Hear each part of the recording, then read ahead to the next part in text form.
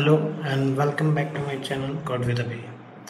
I have great news for all Flutterflow users. So finally Flutterflow 5 is here and let's explore some of the new features. First we have now different development of stages.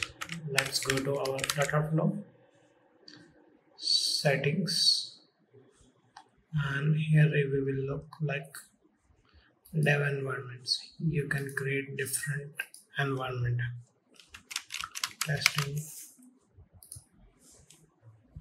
you see here you can change the environment as per your choice. Just click on that and it will be on that environment. So based on this you can also change the API URLs and all the other stuff. Okay so second is the Flutterflow project libraries. So let's have a look on that as well. Here you can just uh, just uh, I will go to one of my project and show it to you how it's done. Like I'm going, I want to use like some of the features of like notifications and other stuff like radial widget which I have already developed in this project. So I want to use some of the features in my new project. So let's go to the settings, project dependencies, add dependency and just I need to add the project ID.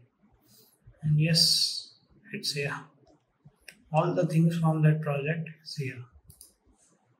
You can see the app state, the components, the custom actions, everything is here.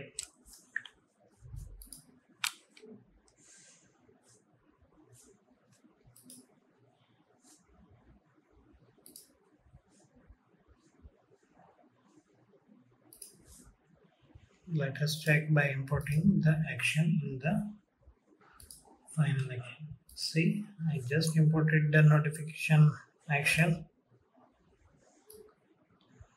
Okay and it's already been initialized. Notification service. See here. So that's how simple it is as of now. And the most important and my favorite is the AI creation of the component. See this page? I have not written even a single line of order code and the enter page is created let's create one with the same.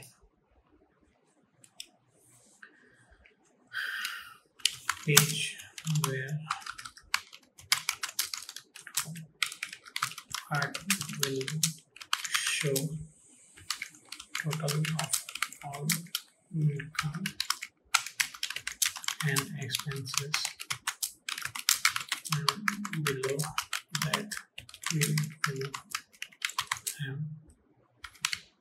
income and expense section showing total of each and below that we will have transaction transactions. income and expense. We will have list of transactions of income and expense with preview UI. Let's see how it goes.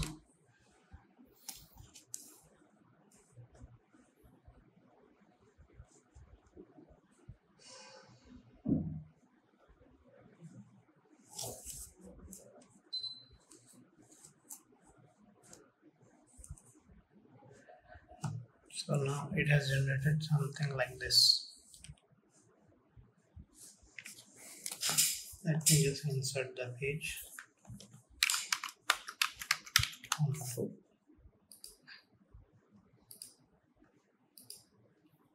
this all components are designed in all are here just need to check this one and make it scrollable and view all transactions. So that's how the page is designed. Let me show you the other page which it has generated previously. See so these are the new features in flutter flow 5 i will explore some more and share the new video soon. Thank you